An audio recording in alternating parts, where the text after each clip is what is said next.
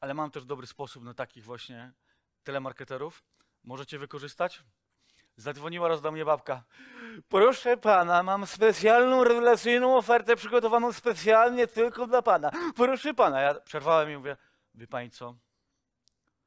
Jeżeli pani chce mi coś sprzedać, tak?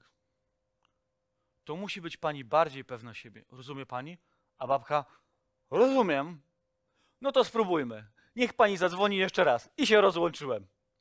I ona znowu dzwoni. E, Dzień dobry, e, tu Bożena Techniczaka. Dzwonię do pana ze specjalną ofertą. Przerwę, proszę pani, proszę pani. Momencik, momencik.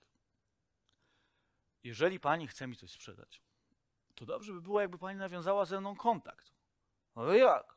Ja mówię, nie wiem, cokolwiek. Niech mi pani powie jakiś komplement. Rozumie pani? No, rozumiem. Dobrze, to spróbujmy. Jeszcze raz. Rozłączyłem się. Babka dzwoni jeszcze raz do mnie. Chciałam zaproponować panu. Puch, rozłączyłem się. Nie przedstawiła się pani. Cały odcinek MZW Show na moim kanale YouTube. Marcin Zbigniew Wojciech.